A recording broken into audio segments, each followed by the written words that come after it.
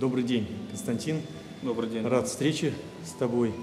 Сегодня юбилейное интервью, но юбилейное по поводу 55-летия олимпийского дзюдо. И ты входишь э, в семью олимпийского дзюдо. А почему 55 лет? Ну, как и ты знаешь, и все знают, что ровно э, в 64 году впервые в Токио были Олимпийские игры по дзюдо. Ну и первый вопрос, это, конечно, что, ну, твое определение дзюдо для тебя сегодня. Понятно, что оно может меняться, да, от возраста к возрасту, но вот именно сегодняшнее твое определение дзюдо для тебя. Ну, дзюдо, во-первых, это именно тот вид спорта, который сделал из меня тем, кем я являюсь сегодня, э, при котором я приобрел очень много э, жизненных э, принципов, которые вид спорта, который, так, э, сформулировал э, формировал мой характер. И вообще, помимо того, что это интересный вид спорта, где э, много, э, много вещей, э, много деталей, которых надо сложить вместе, и вид спорта, который и детям э, изначально э, внедряет и те принципы, которые им помогут э, дальше бороться со сложностями жизнями, э, даже для э, примера одеть кимоно на себя, это уже какая-то своего рода дисциплина. Войти в зал и поклониться тренеру или сопернику, это уже дисциплина. Вот именно с этих базовых вещей, да, дальше уже, я не говорю, техника, стратегия и так далее. Ну и все вещи, которые делают уже спортсмена олимпийцем, это все-таки, я думаю, э, самая э, высшая стадия, стадия дзюдо, это уже и характер, это уже уметь проигрывать, уметь выигрывать, э, уметь преодолеть очень много сложностей, которые есть на пути. Ну и вот хотелось бы в свете вот вашего определения дзюдо, ну так вот, может быть, малыми отрезками, насколько большое влияние оказало на вас дзюдо? изменилось ли ваше восприятие мира, допустим, когда вы начали, когда там в среднем возрасте уже, да, в окончании школы, и когда вы уже вот были вот в большом спорте, ваше а, отношение к людям, э, вот как дзюдо вот на это повлияло? Вы вот можете определить, или оно никак не, вообще не повлияло? Нет, оно повлияло. Э, я возвращаюсь к тому, что дзюдо построило меня и формировало, формировало э, мой э, характер, мое мировоззрение – Э, отношение к людям, как э, э, уважение к людям, которое проявляется неважно в какой ситуации, чувствовать соперника, чувствовать человека, с которым ты общаешься, это приобретается э, или приобрелось в дзюдо на протяжении многих лет, я приобрел это чувство, э, с кем, как общаешься. Это подготовка к схватке, это подготовка к любой встрече в жизни. Э, очень много примеров, э, которые я взял из дзюдо, э, те именно вещи, которые воспитывались э, во время Э, моей спортивной карьеры, они сегодня меня как человека, скажем так, э, э, дают мне возможность продвигаться вперед и основываясь на, на эти принципы. В свое время создатель школы Кадакан Дзюдо Канадзигора сказал, что занятия могут оказывать на человека воздействие в трех аспектах. Это физическое воздействие, да, его развитие интеллектуального и нравственного. Ну, по физическому аспекту вроде все понятно, да, мы все проходили это. А что вы скажете про двух других аспектах? Насколько дзюдо повлияло э, вот, на вашу интеллектуальную и нравственную составляющую? Ну, дзюдо, э, все думают, что просто прийти побороться и э, выиграть, там много ума для этого не нужно. Я считаю, что это, это уже доказано, что это не так. И помимо того, что такое жизнь, жизнь, жизнь дзюдоиста, это раз, это спорт не очень оплачивается. Поэтому это не футболисты, которые получают миллионы и так далее. Поэтому дзюдоист даже э, высоких э, достижений mm-hmm. часто приходится э, скажем так, бороться с другими вопросами в жизни, это как финансовая составляющая и так далее. Поэтому э, твой распорядок дня, если параллельно э, тому тебе нужно работать, э, тебе нужно э, учиться, э, и тебе нужно э, интеллигентно, э, скажем так, интеллигентно, интеллектуально, неважно как, э, относиться к вещам. Это, как я сказал, распорядок дня, действия, э, чтобы все вещи, как мозаика, да, складывались. Mm-hmm. Надо складывать по кусочкам. И это не просто. Э, ведение схватки, стратегия, э, делать какую-то в голове сначала э, смотреть на схватку, провести ее сначала в голове, потом выйти против соперника, понимать, какое движение ты сделаешь. Mm-hmm. Много, очень много тактики. Поэтому очень много составляющих есть, и в котором без а, а что вы головы, скажете? без mm-hmm. интеллигенции, без э, какой-то интеллектуальной э, без интеллектуальных составляющих, составляющих mm-hmm. невозможно быть дзюдоистом и добиваться высоких э, результатов.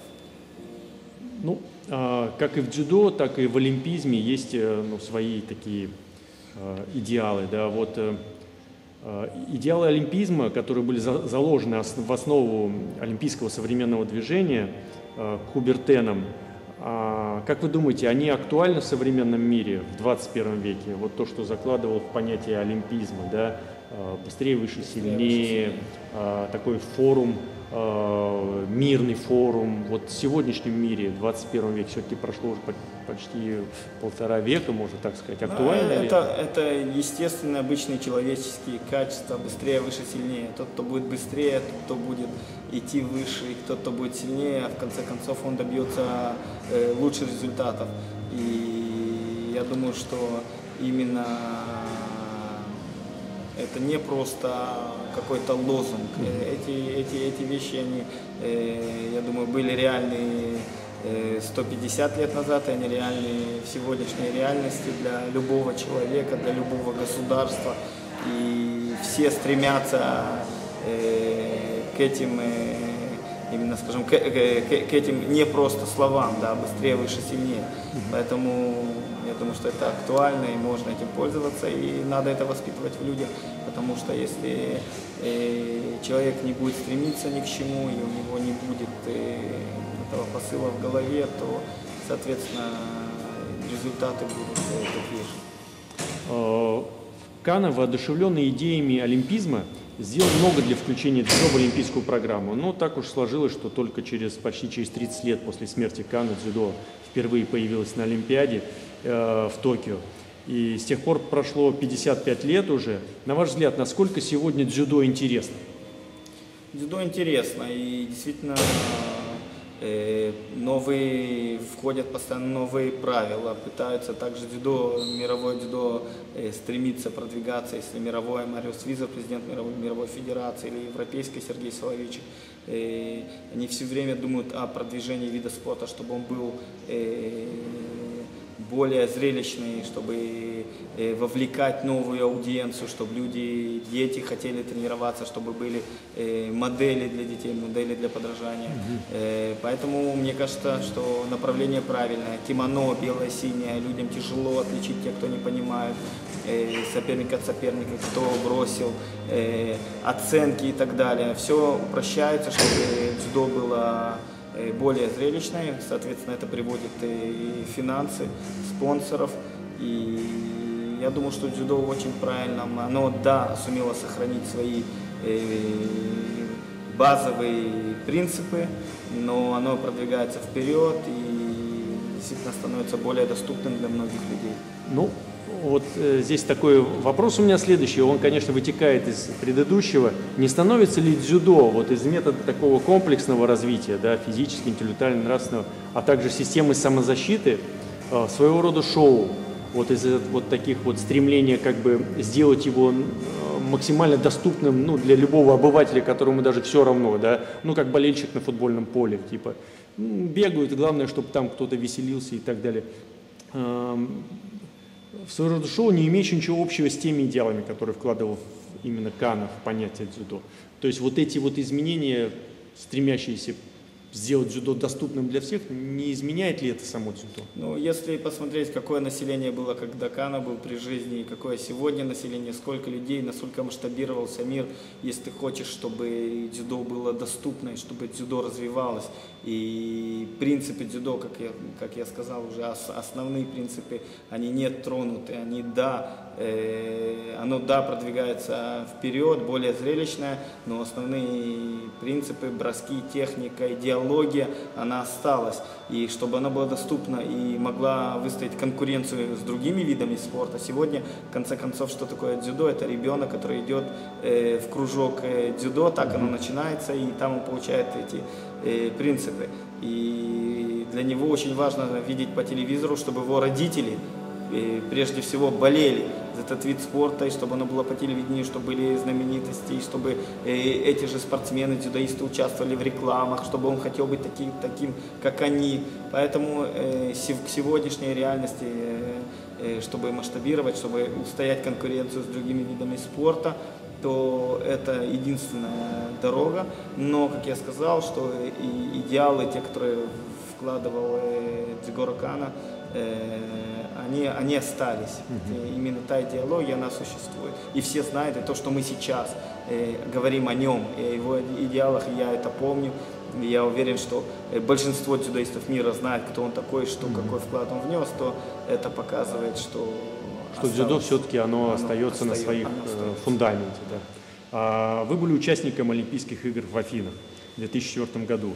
Немножко, ну, оглядываясь назад, сегодняшнего вашего видения, как вы думаете, что вам не хватило для достижения вот этой заветной, заветной мечты каждого спортсмена, дзюдоиста, да, вот олимпийской медали? Э, я был действительно очень близок, буквально э, на расстоянии одной схватки, двух схваток э, до, до этой мечты и, в принципе, проиграл схватку. По своей ошибке всегда люди любят э, обвинять судей, судейская ошибка и так далее. Э, я считаю, что я неправильно повел. Э, я думаю, что схватка остановилась, она не остановилась, время шло, неважно. В конце газеты пресса разбирала, что была там ошибка, как судья должен был остановить время и так далее. Я могу винить только себя, я не, скажем так,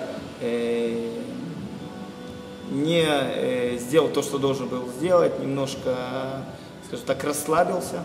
И это был результат. И действительно был очень близок, был потенциал. Э, но в конце концов или сделал, есть те, которые выигрывают, и есть те, которые объясняют. Поэтому я пока должен объяснять, а объяснять не хочу. Я сделал ошибку, и поэтому не сделал. Но э, все-таки участие на, Олимпи... на Олимпиаде, два раза был вице-чемпион Европы. Я думаю, что это была хорошая спортивная карьера, международная спортивная карьера. Э, конечно же, хотелось мечты олимпийской медали, но э, я все равно рад все те, именно тем вещам, которые произошли у меня в жизни, благодаря дзюдо. И, может быть, оно не знаю, было бы э, хорошо, плохо. Была такая мечта, но все-таки карьера, которую сделал, я и доволен. Ваш технический арсенал дзюдо э, был разнообра... э, разносторонним, но все же какие э, вот приемы наиболее вам нравились и почему? Ну, у меня были несколько коронных приемов. Один из них сегодня не актуален, нельзя за ноги брать. Это был тегрума, боковой переворот. Э, еще два приема, которые были действительно такие мои, одни из самых-самых сильных. Это Олчигари э, и Косатугаки. Это вот э, это был мой весь арсенал, знаете, когда я четко понимал, когда я боролся, где мои сильные стороны, где мои слабые стороны. Я не пытался все время работать на какие-то слабые, я не разрабатывал. Я был правша и работал вправо. Я не пытался начинать разрабатывать левую сторону, а наоборот, э, те приемы вправо, на которых, которые я очень хорошо делал, я Э, пытался их довести до, такого, до такой степени, чтобы меня невозможно было остановить, когда я вхожу в этот, mm-hmm. в этот прием и бросаю. Поэтому это была моя тактика, и вот в основном Костугаки и Учигари были наиболее сильными приемы. Э, в дзюдо есть такое выражение э, или принцип, да, поддаться, чтобы победить. Часто ли вы использовали эту идею в своей спортивной деятельности? И сегодня, будучи политиком ну и, конечно же, в личной жизни, так сказать, в обыденной своей жизни. Часто ли вы используете вот этот принцип поддаться, чтобы победить? Ну, мне, конечно, когда в спортивной жизни у меня было столько амбиций, столько мотивации, мне было сложно поддаться, и чтобы победить, и вопрос даже не поддаться в схватке, а пропустить соревнования, чтобы выиграть следующее. Я не умел это делать, и из-за этого истекали очень много травм и так далее. Я делал свои ошибки, и но в дзюдо набил достаточно шишек. И сегодня, кстати, в другой уже, в политике и так далее, я понимаю, какая схватка лишняя, а какую схватку, которую, какую схватку надо проиграть, чтобы выиграть следующую, которая она более, более важнее. И, кстати, это основа дзюдо, податься, чтобы победить. В дзюдо у меня это не получалось из-за моего характера, но со временем я пришел к тому, что если действительно я бы здесь, здесь бы на этом соревновании не выступил, или вот здесь надо было э, немножко меньше на тренировке э, нагру, нагрузить, на, на, нагрузить, чтобы потом не травмироваться или чтобы потом прийти в хорошей форме, то сегодня в реальной жизни, и даже не важно где, в семейной, э, я этим пользуюсь намного больше, считаю, что это очень важно. Жалко, что когда я был дзюдоистом, я этого не понимал достаточно. Израильское дзюдо имеет достаточно большие традиции. Есть призеры Олимпийских игр, чемпионатов мира, Европы. По вашему мнению, почему спортсменам-дзюдоистам Израиля до сих пор не удалось стать чемпионами Олимпийских игр и мира? А, есть ли какая-то проблема в этом и как, на ваш взгляд, она может быть решена? Ну, у нас э, большинство, 5 медалей из 10 в Израиле, они олимпийских медалей, они дзюдо, а есть одно второе место, а все остальные э, третьи места. У нас, да, есть чемпионка мира, Ярден Джерби была чемпионка мира в 63 килограмма. Я, я извиняюсь, да, я пропустил да, женское дзюдо, потому что в основном как бы да, да, да. У нас очень сильная мужская, но э, буквально на днях выиграл э, Баку, Гранд Слам, э, Саги, Саги Муки первое место.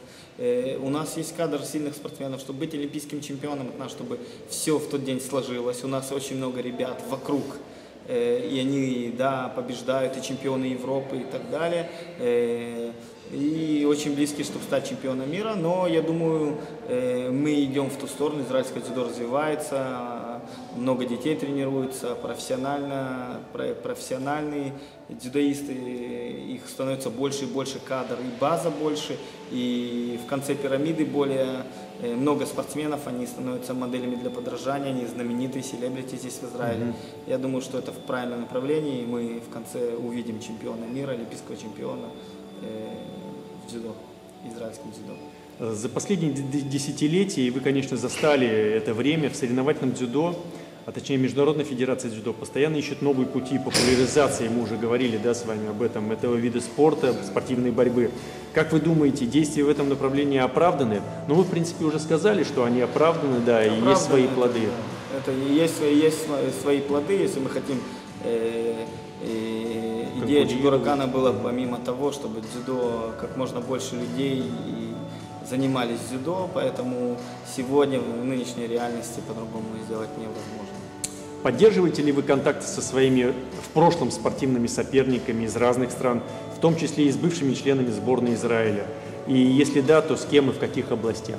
Я поддерживаю со многими своими соперниками с разных стран. Давид Кивкашвили, президент Федерации дзюдо э, Грузии. Э, мы с ним дружим. И Асхат Шахаров в Казахстане, и Гена Белодет на Украине, и в России по всем практически с очень многими я, дзюдоисты с Франции, поддерживаем, общаемся. Тони Летнер вот недавно с Германией, мой соперник на Бундеслиге был. И поэтому все время кто-то обращается, некоторыми постоянно общаемся.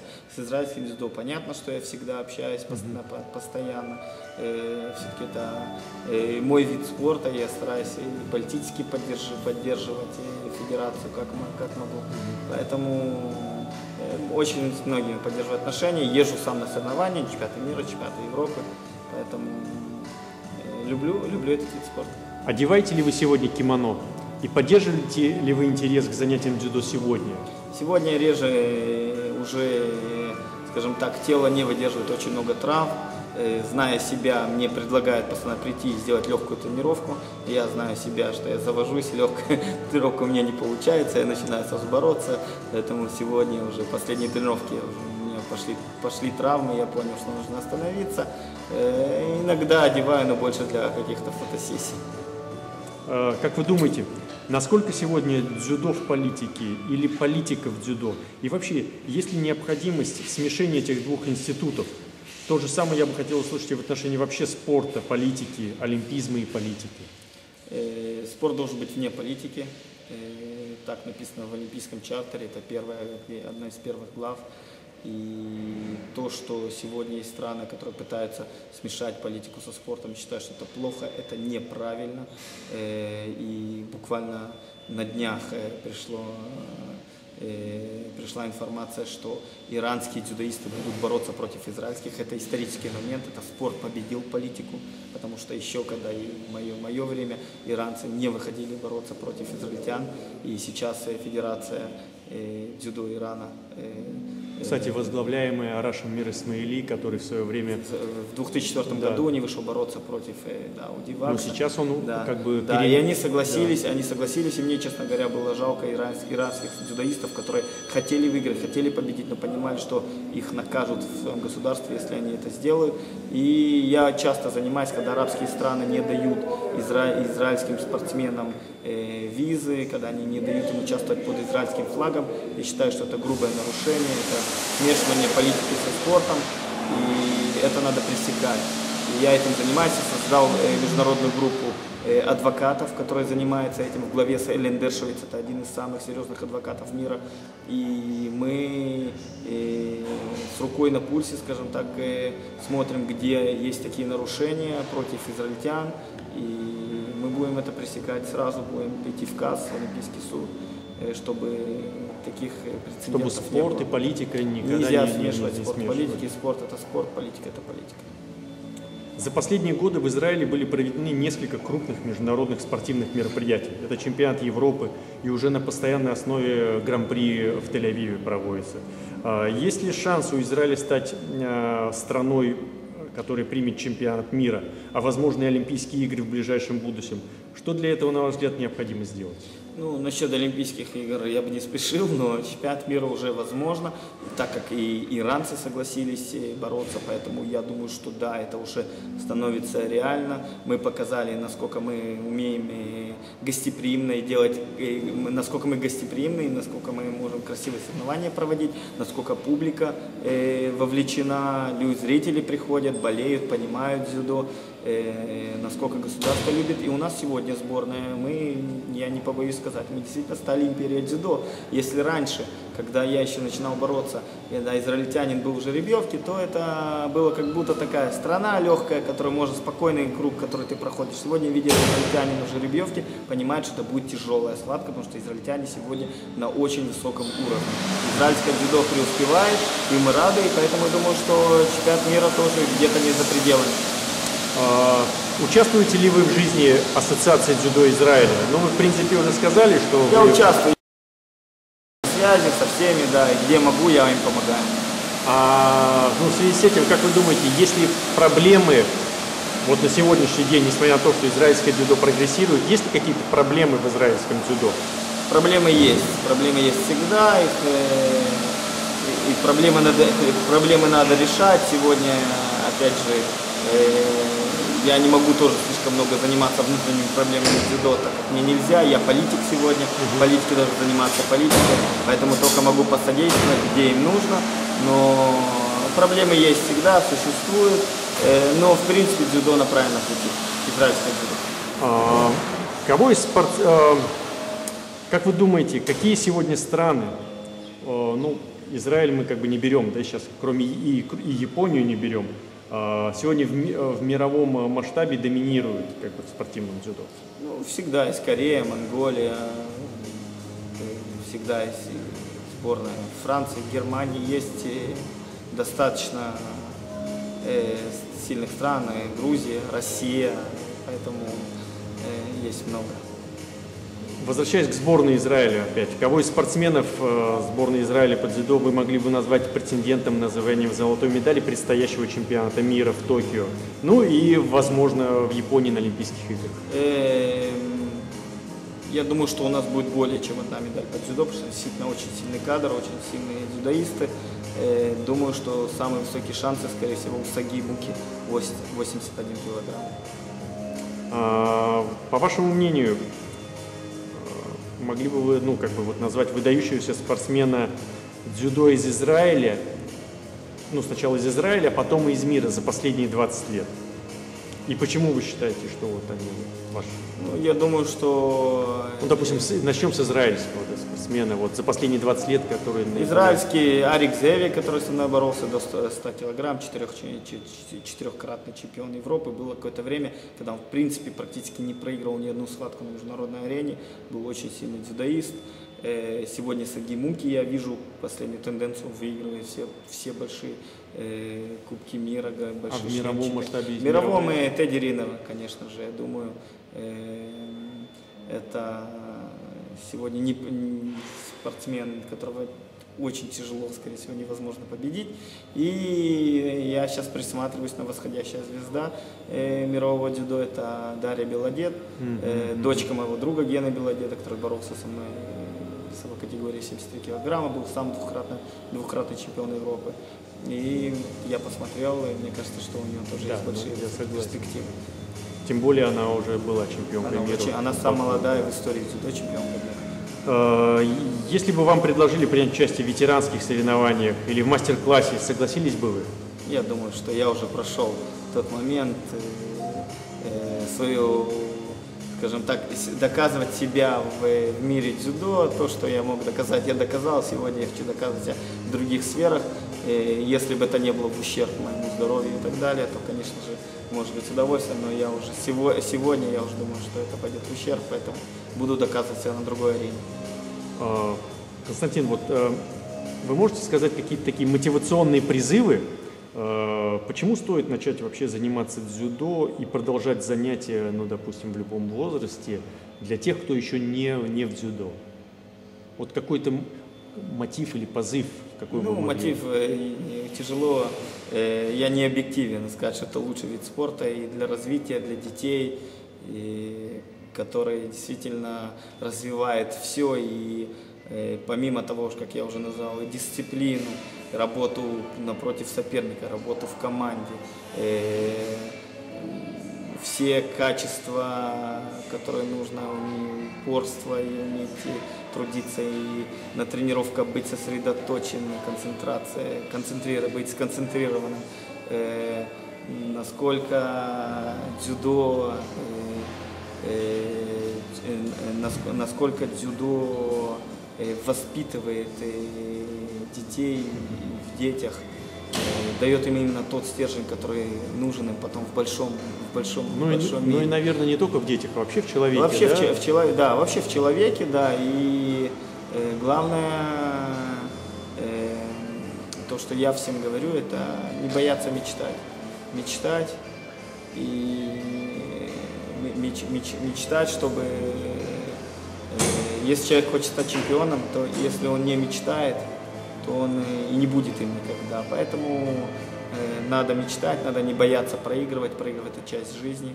Э, невозможно выигрывать без того, что ты умеешь проигрывать. Поэтому дзюдо это комплекс всего. И Ну и вот э, такой заключительный вопрос или ну такой.